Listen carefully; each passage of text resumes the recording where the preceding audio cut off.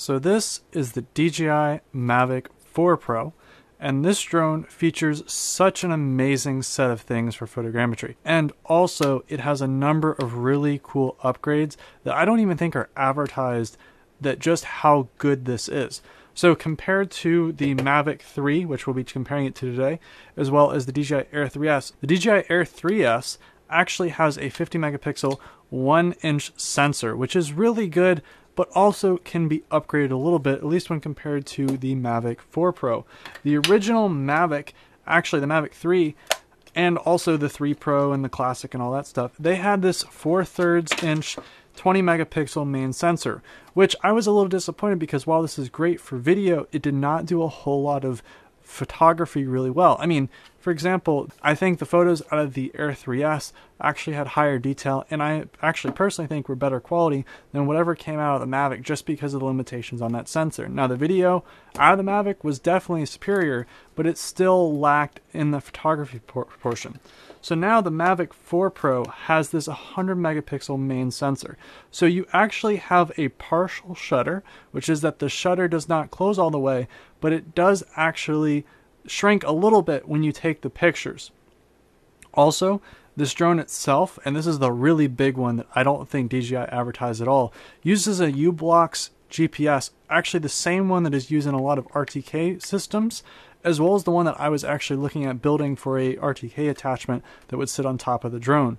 So think about it this way this has the same level of precision that the kind of RTK attachments is. Now, the reason why it's not RTK and probably why they didn't advertise it is because you actually have to have some way to stream the corrections or you know a base station or something like that to the drone itself. But the GPS is so accurate, I think you could get really high quality PPK results or post processing results if you had like a, a marker on the ground that you knew the position of. You could line up a really good point cloud. So the GPS is extremely accurate. When I flew this in the dark, it was rock steady even like 30 some meters up.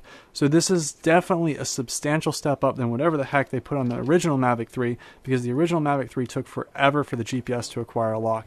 This is substantially better in terms of GPS.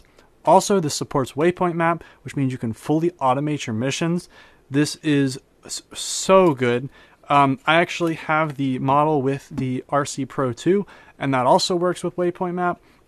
So you can load up custom flight plans, and I'll show you how to do that as well. But overall, this drone is just such a substantial upgrade, at least when it comes to the quality of hardware that you're looking at here. The picture quality, the internal hardware, as well as the ability to just still do automated missions is just so awesome here. Also, 51 minutes of flight time means you even get a lot more models in. In my testing, which you'll see later on, I was able to get three runs of three kind of scans in. So it took about 45 minutes to scan three different things on one battery, versus on the Mavic 3, it would have taken me about probably two batteries to replicate the same amount of results. So let's go through, let's plan a mission. I'm going to show you where I'm going to fly, my thought process for how I'm going to plan that mission, and then I'm going to go through and use the Mavic 3, the Air 3S, and the Mavic 4 Pro to scan the area. We'll compare the results and we'll see how good they look. But overall, super impressed with this drone. Also, one thing I almost forgot. This drone, specifically the model that I have here, is the 512 gigabyte version. This is the creator combo. And what's so important about this is when you are taking 100 megapixel images, most SD cards, if not all of them, are going to struggle, at least the ones that you're going to buy that's reasonably cheap. So if you do not get this model, it will be very difficult to take 100 megapixel images. You'll be able to probably take 25, but the 100 megapixel images, you will have basically what happens on some of the other drones is you'll take a picture and by the time that at least, at least if you're doing automated mission by the time the drone gets to the next waypoint it has not finished saving that picture and therefore starts missing pictures. And this happens a lot in grid patterns, especially on people running on slow SD cards. So if you choose to get this for photogrammetry, just keep in mind that the 512 gig version has that integrated storage. It's super fast. It allows you to take pretty much pictures in one second intervals. It is so freaking fast. And I want to say it's almost necessary if you are going to go through and do photogrammetry on this drone, do not try doing this without the 512 gig version or the creator combo. Otherwise, I personally think you'll be bottlenecking yourself at least when you start using this drone. Okay, so first let's go through and plan the mission specifically in the normal spots that I fly. So I test all my drones out at this baseball park. Um, and basically, I do a pretty standard flight plan. What I'm going to do today is just two concentric circles, one out to the outside here, facing inwards. And actually, let me make sure that I generate every point. And also, I think that's good. So let me do that, and that will generate them all facing inwards. And then I'm also going to do the same thing a little closer. And I'm actually going to change the gimbal orientation so it's a little bit lower. And I'm also going to generate that same thing. So this is my first flight plan, and basically just two concentric circles around the um, baseball field here. And so I'm just going to download that real quick. So that's one. This little bathhouse here. So I'm going to do this, and that will be my second one. So then I will be able to download that. This is at what altitude again? 60 meters, that's good. Download that, that's mission number two. And then I am also going to go to Bond Park Community Center. And this is my other place that I like going to as well and then I'm going to fly a couple missions. If you're just doing one mission, you can use the Waypoint Map KMZ installer, which will automatically install them. But since I have a couple, I haven't gotten around to programming multiple. So you'll have to go through and just either manually if you're doing multiple, or even if you have the RC2 Pro, you can use that with the Waypoint Map KMZ installer. Um, but I'm doing multiple missions. I'm just going to manually install them real quick. So now let's talk about what actually happens when I fly this mission. Um, I want to also take a quick moment to also talk about the RC2 Pro because one of the big things and the big you know problems I guess with Waypoint Map and running these automated missions is the lower end controllers. They don't actually let you go through and fly a whole lot of points versus when the with the RC2 Pro I was able to get about 400 plus some points. So the original RC, the DJI RC, got about 100 waypoints that you could have versus the RC2 I think believe got close to 200 and this has about 450 that I was able to get there. It still was laggy, but I was able to get the mission loaded without it crashing which is kind of weird because fundamentally the waypoint should not be that intensive in terms of memory. I don't know what they're doing and how much data they're loading that the waypoints are that intensive, but I was able to load all these relatively easy without much issue. So I guess that is one thing to consider. Also, I have found that if you really do need that much more waypoints, it's probably best to get like a DJI RC-N3 or whatever and get a dedicated device with a lot of RAM on it because usually the restriction seems to be RAM.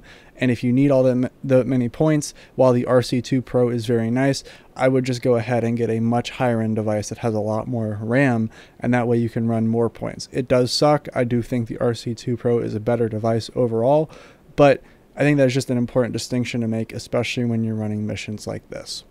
So now I'm going to go through and throw all these pictures into aerial model and then look at the final results and compare them to some of the other stuff. So on your right here, you have the Mavic 4 Pro's final output. And then I have a couple different outputs from some different drones and I'll have to explain them as we go on. But some things that I just want to point out is on the surface, this does look kind of different and also not that great. But I'd like you to also keep in mind some certain things about this specific situation. As this was in the middle of the day, there was some glare, and that has kind of what's messed up this. If I wanted to get a little bit better quality model, I'd pick an overcast slash cloudy day, and that would have helped a lot with some of these roof artifacts. Now, where you don't get glare, you get some really nice models. And what I mean by that is, whenever you zoom in here, you can see there is so much more detail in places that you're not getting glare. So for example, as you can see here, if we just like kind of replicate this, there is a lot more detail along the windows here, even the ledge here on the end, edge of this roof, like you can't even see it in this model. And even on the sides here, you also have a lot more detail. I would just say that the detail is so much more prevalent. Now, the artifacting, you should definitely, we could talk about again, just flying in an overcast day. But for the most part, it just it looks a lot better in terms of quality. You can even see how much sharper some of these corners are, and even some of these hard to see places are compared to what I believe this was shot on the Mini 4 Pro. And just by like taking a look, you can clearly see that the walls are even have more definition. So replicating this over here, In places that you didn't have glare, the walls even have better definition there as well. So there is definitely a lot more present. And I think that the quality of the areas that are not super directly in sunlight, which I guess is the roof really, are actually, in my opinion, a lot more crisper as well. I'm also going to include the data set that I used of both the original pictures from the Mavic 4 Pro as well as I believe all the different Mavic 4 Pro pictures. So you can run them on your own photogrammetry software. Um, and as you can see, just by flying in the winter in an overcast day, I believe I believe this was overcast. Um, you get a lot more, just a lot more capturing of the subject versus this. Is this had a lot of struggling because of just how much it was flying on. Also, there's a post here, and this always throws off this little corner right here. Um, and that, I guess it's just because you fly around it and it can't determine that. Um, but then there's that, and then finally, I believe this is the Air 3S. This must no, this must have been the Mini 4 Pro, and the other one must have been the Air 3, Air 3S because this was winter. So this, as you can see, is still struggling in pretty much the same spots. Different reasonings. I think also different weather too. But overall, you can kind of see that this struggles all along the corners. It's always a luck of the draw with these, especially when you're obfuscating it with trees. But overall, I think it's more than capable. I think the colors are probably just much more accurate. So if you want to check out my full review of the Mavic 4 Pro, I'll have that posted shortly and you'll be able to take a look and kind of look at the differences in video and photo quality compared to some of the other drones as well.